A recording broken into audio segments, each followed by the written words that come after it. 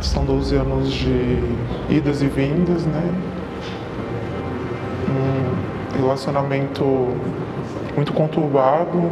É, eu tenho dois filhos com o agressor, né? Eu sempre sofri agressões é, verbais, físicas e eu quase fui morta a golpes de faca. Mas no momento eu consegui me livrar na época e eu não morri por pouco. Já passei por duas medidas protetivas.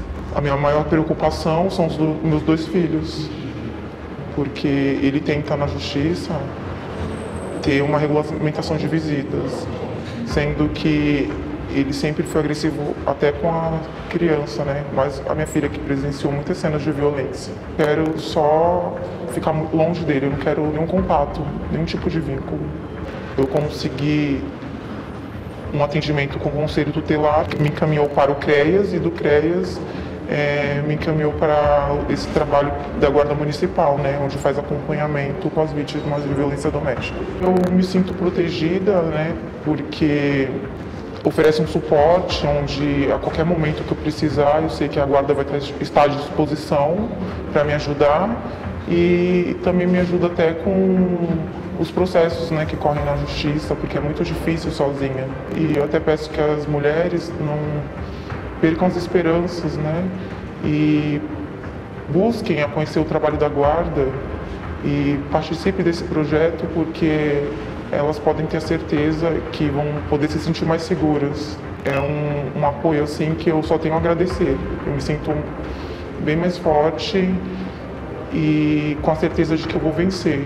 O programa é um convênio com o Ministério Público, onde as mulheres com medidas protetivas têm o respaldo e o acompanhamento da Guarda Municipal.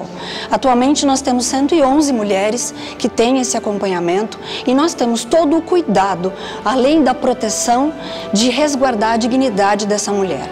A Guarda Municipal tem um cuidado muito especial na abordagem dessas mulheres, principalmente quando o agressor está próximo ou que essa mulher esteja em ameaça. Então o nosso nosso cuidado é para que constantemente a guarda faça ronda no domicílio informado por essa mulher para que ela se sinta segura. Após a agressão que elas sofreram, o que mais elas precisam é de atenção e a gente trabalha em cima disso. Está sempre em contato com elas, deixa o número do telefone.